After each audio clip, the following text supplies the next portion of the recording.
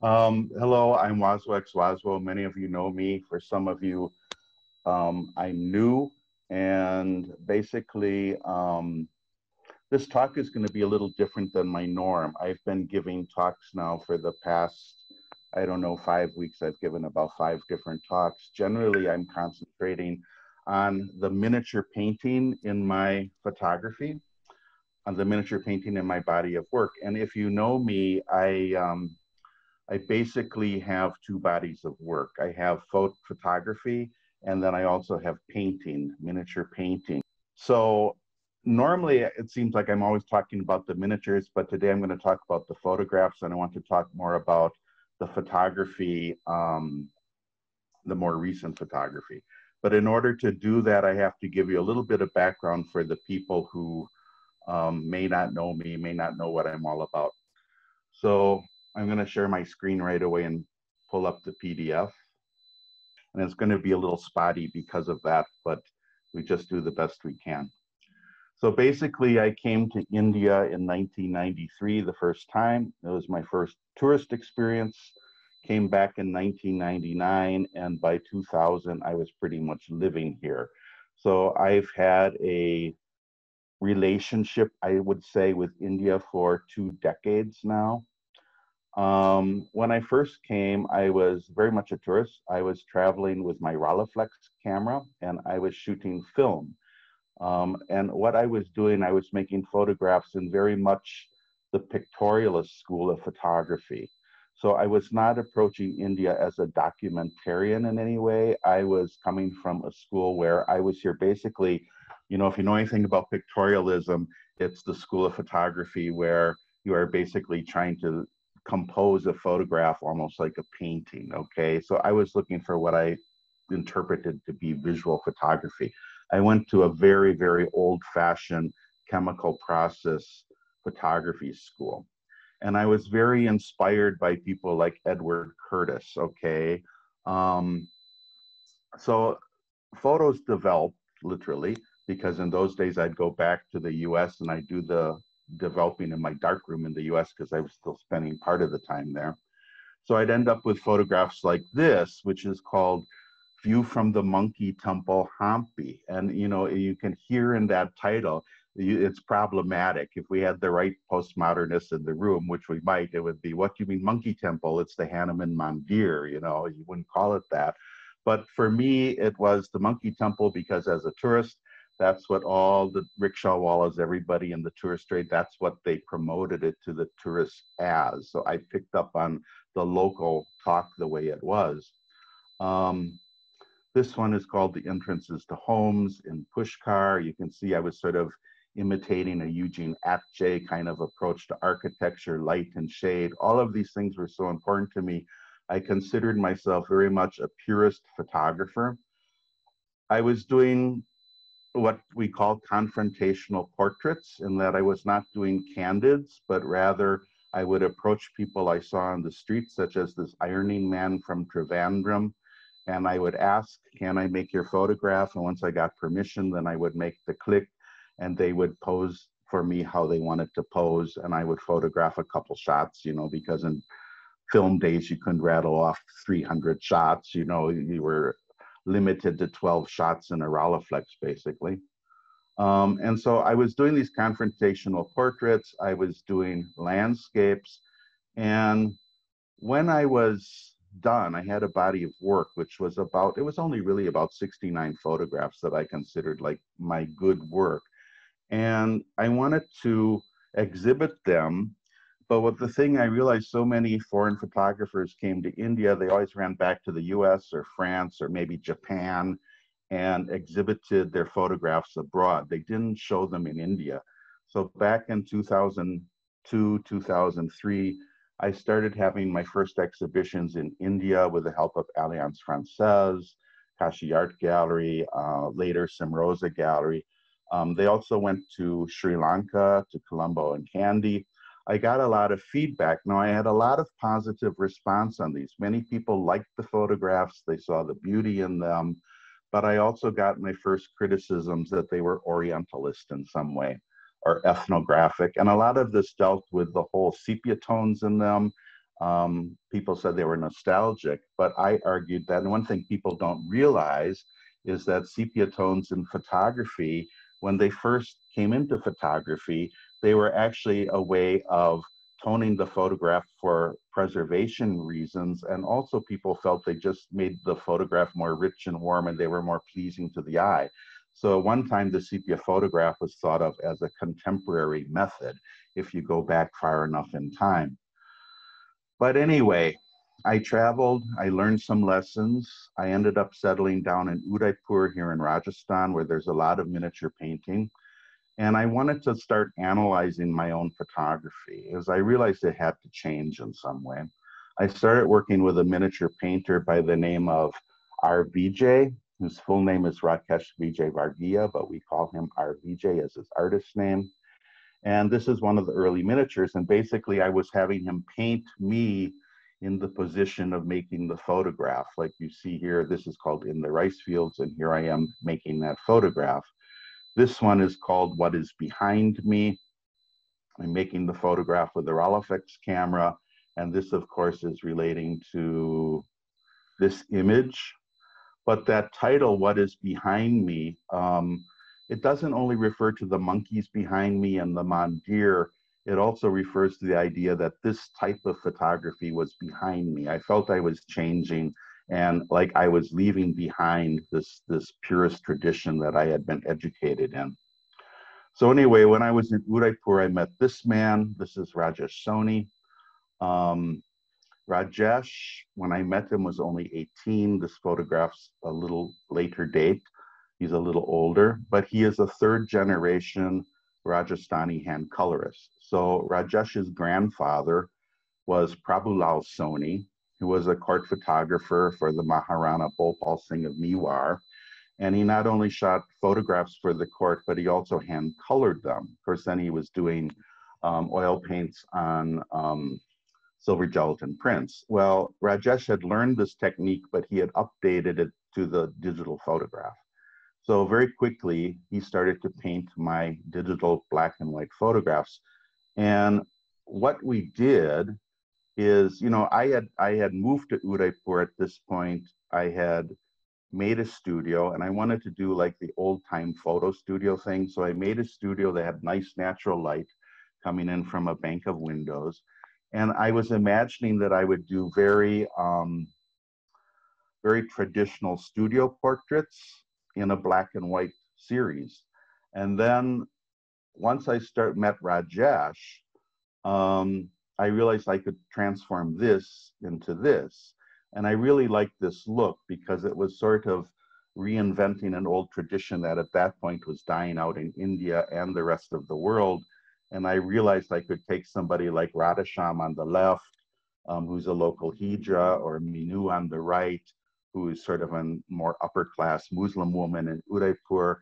And, you know, through the addition of Rajesh's hand coloring, um, they became very luminous and, and so much more beautiful to me. You, you can't really know the beauty of these photographs unless you see them in real life. They never come out quite as well online, but they're really exquisite when you see them in real life. Um, this is Rajesh in his shop. This photo is relatively recent. Um, he's actually holding an old photograph um, that's in his collection of his grandfather, Prabhulal Soni, in a frame. So this was a tradition. It was an old tradition. It was sort of dying out in India, and we started collaborating. So I ended up collaborating with both Rajesh and Rakesh, the miniaturist, and the rest is history. We started to get some attention for what we were doing. Um, Initially, I was photographing very common people, like this is Ganeshpa. It was called Ganeshpa sitting, the photo on the left, and then this is Ram Dass in a chair on the right. Um, and so I was photographing people who were like farmers and shopkeepers, but I was trying to do this in a very dignified manner, almost in a royal manner sometimes. But very quickly that all changed. So um, I started to get more playful. So like this is Zakir and Tarif smoking. Um, this photo was actually done on Eid. I knew these guys were kind of badmashes, and um, I said, do something naughty. And their idea of doing something naughty was to smoke in front of the camera. So it became more playful. It stopped being serious photography. and then, or a serious approach to portrait making. And um, then I became aware of the whole vernacular tradition in Indian photography. So I wanted to play with that a little. So, you know, we rented a Bajaj scooter, made photographs such as this one, which is called Back from Market. Um, my barber Manuj and his wife Devia. And what I was always trying to do was translate something I saw in real life and recreate it in the studio. So it became part reality and part fantasy. And same with this one. This is called The Village Barber. And you know, this man doing the shaving is actually a barber in Udaipur who shaves on the street near Chetak Circle. Um, and we put him in front of a backdrop with some Mina tribal signs and whatever. Um, and then this is actually the, the table and the chair that he uses. So we were recreating reality, but in kind of a playful, fun way. And so through doing this, you know, through both the medium and the approach, the vintage nature, the traditional nature of the hand colored photograph started to mutate and become more contemporary. And when people started to see these, people I found liked these much more than my sepia photographs. There was much more of an immediate appreciation of them. Um, because I sort of brought that tradition into the contemporary times.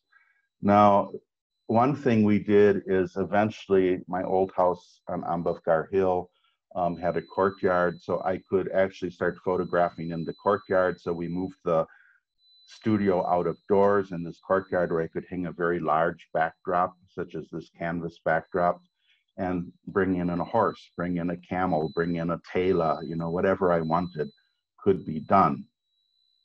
So um, eventually I realized I didn't have a panoramic camera. I mean, I, I was very old school. Now I'm shooting digital, but I had a really old decrepit digital camera. And I realized that I could stitch two photographs together to make a panoramic. So this was one of the first of those. It's called The Harvesters. And, you know, we brought in the corn, the buta, and I actually placed it in the studio. This was shot indoors with a backdrop behind it. And then we joined two photos to make one. And I wanted to like expand this process and see, you know, what else can we do with this, this method that we had, and had, were exploring.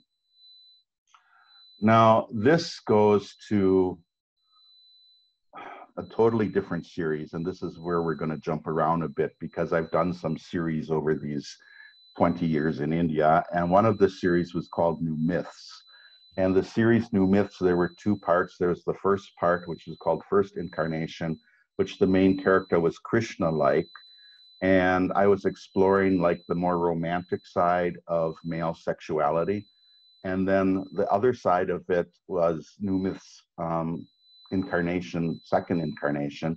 And I, I used the figure of Hanuman to explore sort of the warlike, aggressive nature of masculinity. So I just want to show you that not only you know had the subject matter is ob- obviously drastically changed here for some reason um, i've brought in the miniaturist rvj now to like paint the tail on and he's also painted these feathers on the helmet. So you know now the miniaturist is also joining rajesh who's doing the hand coloring. So we've got two traditions coming in to make you know the finished photograph. But if, if you could see this tail in real life the tail is exquisite. I mean, Rakesh has painted like three different colors of hair, you know, three times, and it's so detailed. You can literally see every hair on that tail. It's, it's just amazing to see. This is now in the collection of the Asian Art Museum of San Francisco. Um, this was also, we did some panoramics in that series, the Hanuman series. Um, once again, many tails they had to be painted but you can see now I'm becoming almost like a, a theatrical director. Um, you know, I'm really getting into the posing characters things. We're really like producing a little vignette from a play almost, um, having people pose in certain ways. And I had to coach people how they had to look and how they had to hold their arms, et cetera, et cetera. So, you know, I've by now I'm far, far away from that purist approach to photography, and I've really like come into what to me what is a form of contemporary art, but I'm using sort of traditional and vintage methods in my approach. Um, we started to get some notoriety for what we were doing. This is actually Christopher Pinney, the famous uh, theorist and writing, writer on Indian vernacular photography, and he's visited the studio in Udaipur, I think, three times now. So this was actually on his second visit, and we went out because my studio had shifted to a village. It's now out in the village of Varda, which is about 30 minutes outside of Udaipur. And um, so we actually shot this in the fields outside of the studio. We were reliant on the natural light. It had just gone behind a hill, so there weren't any harsh shadows. And Christopher posed in his dhoti. And then this man is my landlord, actually. This is Ram Singh, and he's taken on the role of the photo walla with the Rolleiflex. So, you know, there's an inversion of who's photographing who. And, uh, you know, this is what I started to do more and more. I, it just sort of like turned the eye to the process of photo making rather than just looking out at somebody, but also looking inward. How are photos made? Um, another thing that I started to do was to like expose my edges. And this shows it very well. This is called, I think, it's just called Man with a Beedi. And you can see the brick wall on the upper left here of the studio that's exposed. So when your eye looks at this photograph, it can fall into sort of the fantasy world that you fall into on the right, which is done with the painted backdrop and the model, or you can let your eye drift to the left and see the brick wall, which kind of brings you back to reality. And that's one thing I've really tried to do throughout my body of work, both in the miniatures and in the photographs, is kind of hover in this world where you're not sure what is reality and what is fantasy, because I find that an intriguing space to operate. Um, in this photograph, we've done the same thing. I think, I forget what this is called actually. I think it's called Group Portrait in the Morning or something. I don't know. But you know, once again, I've showed the edges. I show Ganpat, I showed Jay Prakash, my two assistants, and they're holding bamboo into the photograph because that's a trick of ours. Many times when we make the photos, there's somebody standing on the outside holding a branch in to make it looks like the leaves of a tree are coming into the, the photo frame. And of course, you don't see that, but here I wanted to show what was happening. And then the fact that they have their shirts off kind of emphasizes the fact that this whole thing is a construct. The whole thing is a bit of a, a fantasy. You could say it's an Orientalist fantasy, or you could say it's deconstructing an Orientalist fantasy. That's a matter of opinion.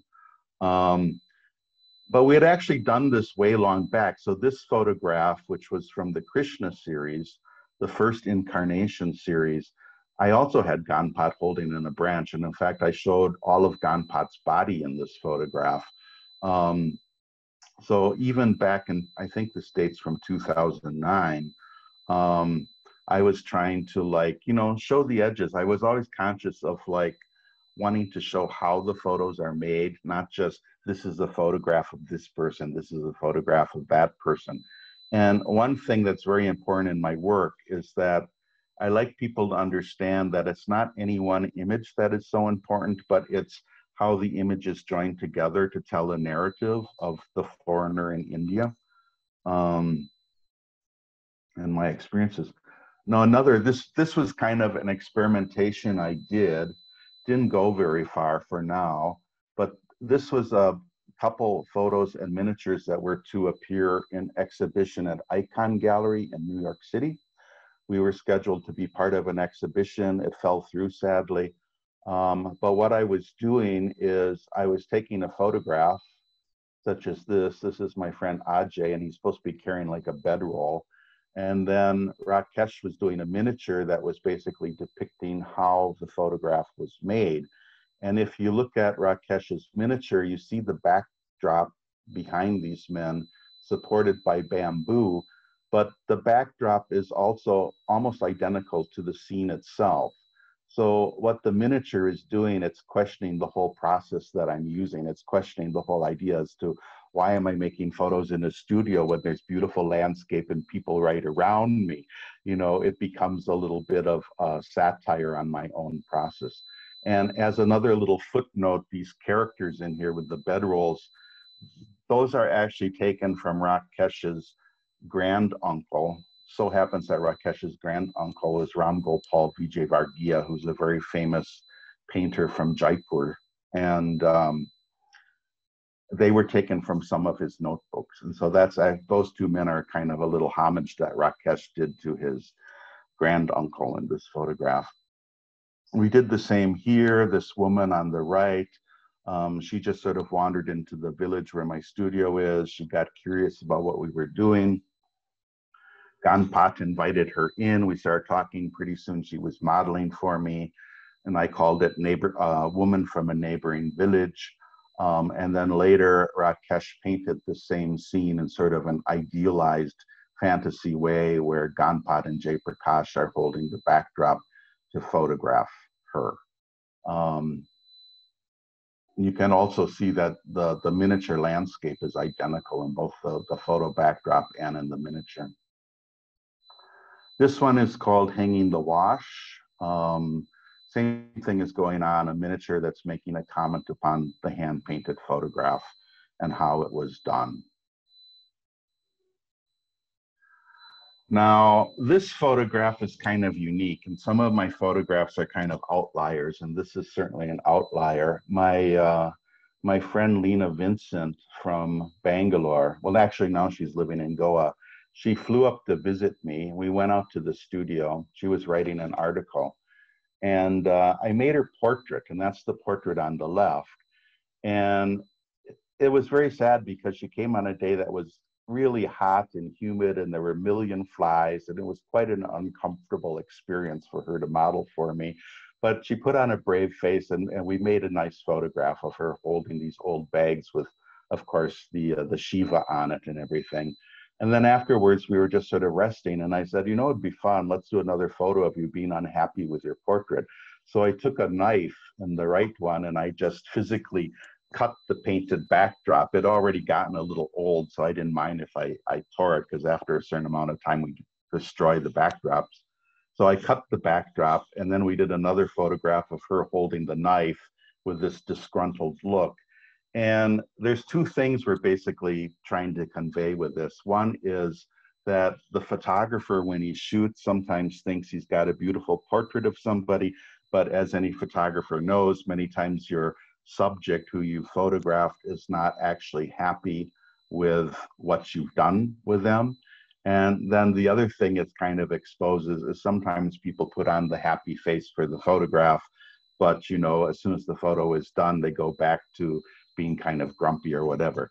That actually wasn't the case with Lina because Lina's a wonderful person and she really is like the photo on the left. Um, now, sticking myself in the photos, this is called Madam X. It's an old photo by now. It goes back to 2008. And um, that's actually me, of course. And I'm in drag. And I put on this god awful heavy sari. And I had a local hijra by the name of Radhasham, the same one in the earlier photograph. Um, helped me put on the makeup. There was also a very famous French makeup artist in town at the same time. So between this Hijra and this famous makeup artist, they did my makeup, they did my henna and everything for this shot. Um, it's always been one of my favorite photos. And, and you know, it's a little play on gender. It, that, to be honest, it was just sort of a fun thing that we did. But later I was invited to be part of a show in New Delhi that was a tribute show to Ravi Varma and so what I did for that show, I did myself as Mohini from the Ravi Varma print. Um, I actually, you know, we tied the rope to the roof of the studio. I sat on a board of some sort and, you know, pretended like I was swinging for the photograph. Then it got doubled in Photoshop, and RVJ, the miniaturist, came in and he painted on all of this sari very beautifully, plus me in the uh, the cream colored suit and the red tie as I'm always depicted in the miniature paintings. And of course, the hat's flying through the air. So, I mean, now we're getting like really quite contemporary in, in what I'm doing. This one is called The View. And it was a little bit, it's, it's sort of like uh, a nod to the old timers in India what I call the long timers, the expats, the unofficial immigrants, such as myself, who have come to India and have been here for many years. You know, they're no longer tourists, but they've sort of settled down. And this view is actually the view that I had from my old house on Ambavgar Hill. I mean, it's it's almost identical. It's a little fantastical, but I had a beautiful view like this from my terrace. And so I'm like looking at one of my old own books. This is the Photowallah book, and um, I'm looking shocked at it, of course, as if I've seen something shocking. And then, of course, the bottle of wine is also reproduced on the TV set. And I don't know if I should say this because I think the collector who bought this is actually watching this right now. But this photo was never really finished. It went off to exhibition before it was finished because we wanted to add rabbit ears to the television and we wanted to add a cord painted on and we wanted to add in some sort of flowering bush here that was the larger plan for this photograph, but I had a deadline to make for an exhibition in Hyderabad, got shipped off before it was actually completed. So if he's listening to this, we can talk about it later. But anyway, um, this is, uh, well, I want to say this is one of my better known photographs. This is uh, now in the collection of MAPT and the Museum of Art and Photography in Bangalore. This is the evil Orientalist. Um, my computer's not letting me zoom in now. I don't know why. But anyway, um, if you look very closely on this holding screen, you will see Pushpamala N's very famous photograph where she's posing against the grid in like an ethnographic um, portrait done by an ethnographer. And she's glaring out at the camera with this very intense stare you know, very piercing stare. And I was like, well, who is this Orientalist or this ethnographer who's like making the photo? Who is the camera walla? So what I wanted to do was like pull the camera back, you know, and it's like, well, let's see who this camera walla is who's actually taking the photo. And of course, the person we see is myself playing the role of the evil Orientalist. I think this was the first time I donned that moniker actually and I'm in like four different poses on here. But you know, all of the poses are a bit of a satire. They're kind of over the top. Um, they're caricatures. You know, that it's not a real human being. And I think that was the point I was trying to make. That many times when we talk about Orientalism and the Orientalists, we forget they were also human and they had they had personalities, you know, and they probably had good sides and bad sides and all of that but um, this is a fun. And, and just as a side, this this man on the far right, his name is Christian, and um, he's a beggar here in Udaipur. He begs at Chetak Circle, but he's quite a well-known personality because he does tricks and he's kind of an acrobat. And in the early days, I did quite the series on him. He came to the studio quite often, and we also visited his home. Blah blah. But anyway. This is later. These images date from 2014. Um, it was a series called We Are Always Working. And what I was addressing here was I had a family member when I was young who worked for the Milwaukee Public Museum. And his job was he was the art director of the public museum. So his job was to supervise teams of artists who painted the paintings that were behind natural history dioramas.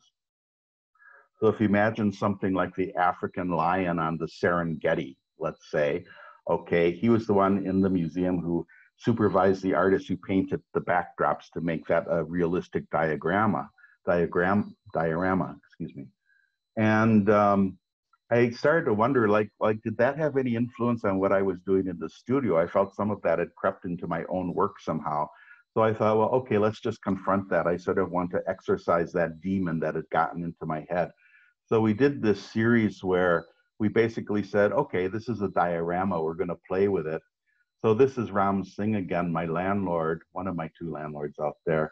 And, you know, the villagers are all, they're very nice and they play with me all the time with this kind of thing. And so we covered him up with plastic like he's a, um, an, ex, you know, an exhibit in this diorama and he's covered with plastic while Jay Prakash is in the background um, sweeping the background and cleaning off the cobwebs. And I'm in there as the museologist examining the, the, the artifacts.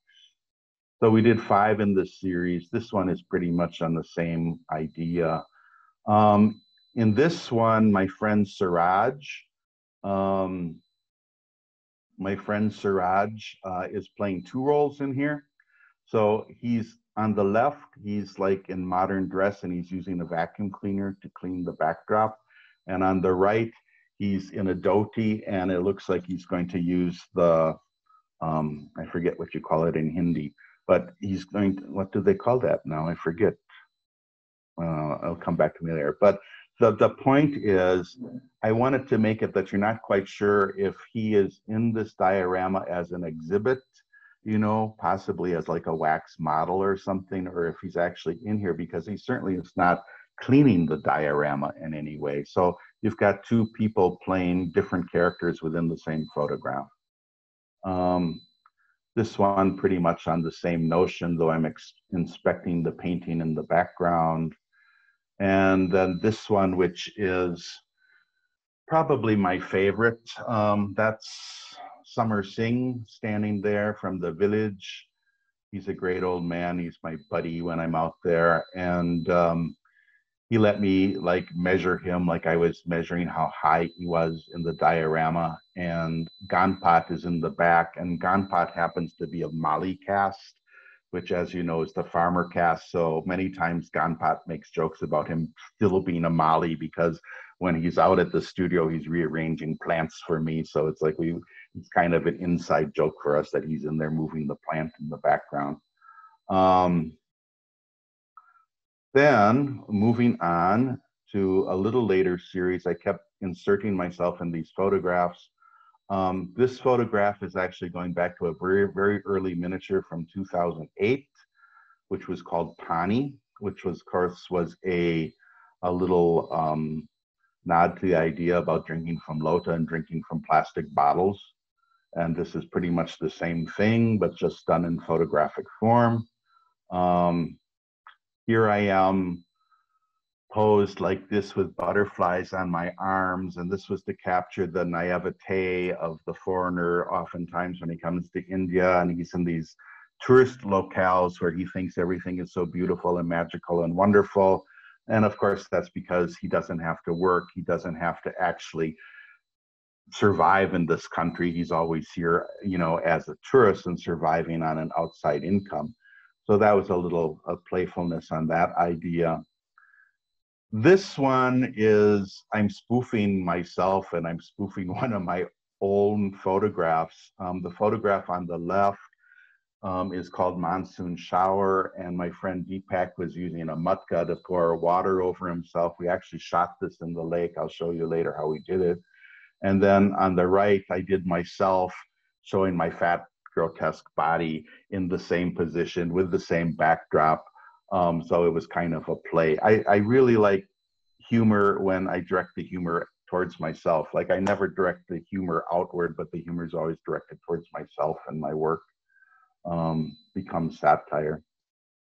This is how we actually did it. We put the backdrop on a bamboo and held it up in a arm of Badi Lake here in Udaipur and had a very quick time, short time to uh, to make the photograph before the bottom of the backdrop got wet. And then I had to. Normally, I don't use a lot of Photoshop, but in this one, we had to, of course, get rid of that seam and blend the two before Rajesh painted it. And then this is more from that series. This is the series is called The Observationist in a Stolen Garden. And the reason I call it The Observationist is I wanted him to be less Orientalist. Now he's he's become more of a what's the word a non-threatening individual you know he's just here enjoying himself and observing like an old naturalist he's not like scouring the country for the queen or something and documenting in any way he's just the observationist so here he is you know of course collecting the mangoes and rakesh is doing a lot of painting on here uh, so it's the miniaturist and rajesh working together um, the observationist is still using Orientalist tools, though. He's got his telescope in here. You know, typical things I've always used is the telescope, the camera, uh, and the magnifying glass, because to me they're all tools of sort of European Enlightenment, you know. So you think of them as tools of exploration. And I sadly I didn't include. I, we did a wonderful photograph, which is actually called the expedition, but I didn't include it in this PDF. I forgot, but it plays on that whole notion of being an explorer. Um, we're almost to the end, though I'm probably running over time now. I don't know. This one is one of my favorite from that series. And of course, I've got the butterfly on the tip of my finger, and plus I'm holding a butterfly net. So there's a little tension that's produced because in one way I'm being very gentle to the butterfly. Like I really just love that butterfly, but then I've got the net in the other hand to catch it.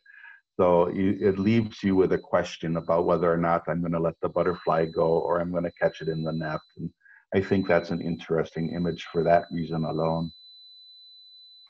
And you'll see in all of these, like Dalpat Singh, who's our backdrop painter and has been for years, um, he's really faithfully reproducing now some really historical miniatures.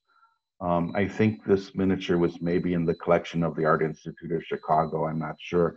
But, um, you know, he's reproducing historical miniatures, and through my photography, I'm now entering the miniature through the element of, through the, the medium of photography rather than using the miniaturist who's painting me into the scene. Now I'm actually entering the scene through photography. And so that's the way I've kind of brought together, you know, at this point, I've brought together um, the whole thing of um, photography and miniature painting, which once again, I have to emphasize, I see that both of these bodies of work are very joined and they work together in tandem. So I'm, I'm far, far from being a purist photographer anymore. I've really taken a turn in a very different direction. This is, you know, the monsoon. I won't say much about it. I think I've overrun my time. Um, this last little series, this is called The Culture Keepers, and it was a comment about um, the museum system, okay, and how we archive things. And this was all based on these desk plaques by um, Singh. She had made these in tandem with Bhavna Kakar and Latitude 28. They went on sale, and these desk plaques say on one side the registrar. So I played the registrar here, and I played the director. Of course, the director is falling asleep and has money on the table. And uh, finally, the curator holding up the magnifying glass and the objects of his interest. This is called Three of Swords, and I often say you can think of this one as me being pierced with, you know, three arrows of criticism that's often leveled against me. So you can think of one as being nostalgia, one as being Orientalism, and one as being sentimentality or something like that.